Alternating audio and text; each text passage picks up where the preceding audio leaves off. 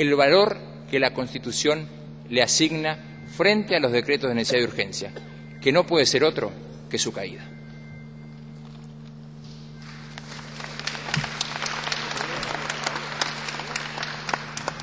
Y por si quedaban dudas, me fui a ver qué decía el proyecto de la senadora Cristina Fernández de Kirchner en el año 2000. Y leo el artículo. Dentro de los 30 días de dictado, contados a partir de la fecha del dictamen, el plenario de Cámara a Cámara deberá tratar el mismo, pronunciándose por su aprobación o rechazo. Transcurrido dicho plazo, sin que uno o ambos cuerpos se hayan expedido, el decreto de necesidad y urgencia carecerá de vigencia y, sus disposiciones no tendrán efectos de ninguna naturaleza. De modo tal que yo me alegro de que coincidamos con lo que decía la senadora hace varios años. Y encuentro alguna incongruencia entre lo que el bloque oficialista dice y lo que históricamente la senadora Fernández de Kirchner ha dicho respecto del valor de silencio en el control de los decretos de necesidad de urgencia. La otra cuestión que me parece que salda razonar muy bien este proyecto es el tema de la nulidad. He escuchado a la diputada por la provincia de Buenos Aires decir que era una barbaridad, que no podía haber control de constitucionalidad por parte del Parlamento, que solamente el Poder Ejecutivo podía dictar nulidades. Esto no es cierto. No solamente porque hay otros casos, el artículo 29 habla de la nulidad en el caso de la concesión de facultades extraordinarias.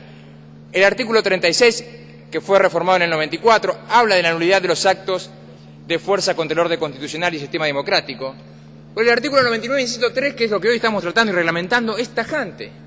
La sanción para el caso de que el Poder Ejecutivo emite una disposición de carácter legislativo, un decreto, sin que exista necesidad de urgencia y sin que exista imposibilidad de, de seguir el trámite ordinario de las leyes, es la nulidad está muy claro en la Constitución, de modo tal que discutir esa cuestión me parece, me parece sinceramente un absurdo. Así que me parece que es correcto lo que ha planteado hoy la reglamentación actual con este proyecto, que es que ante el caso de que no se den concretamente eh, estas cuestiones planteadas en el artículo 99 para que el decreto sea válido, la sanción es la nulidad. Por eso este Parlamento actuó correctamente cuando trató el 2010 y el 298 como no había ninguna razón que hiciera imposible seguir el trámite ordinario de las leyes para tratar el tema del pago de deuda, lo razonable, digamos, que era que se emitiera, que, se, debatiera parlamentariamente, la sanción del Parlamento fue correcta, fue la nulidad. Fue así que siguió cada uno, digamos, que siguió claramente el mandato del legislador.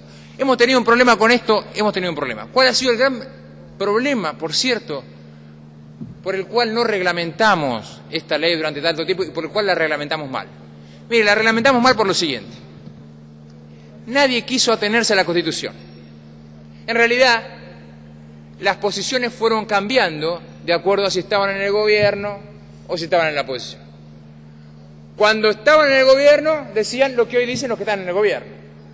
El silencio eh, debe implicar la convalidación, y la oposición decía lo contrario y hacía una correcta interpretación del texto constitucional. Por eso en el año 96 hubo un dictamen de... Diputado Pérez, la diputada Carrió le pide una interrupción.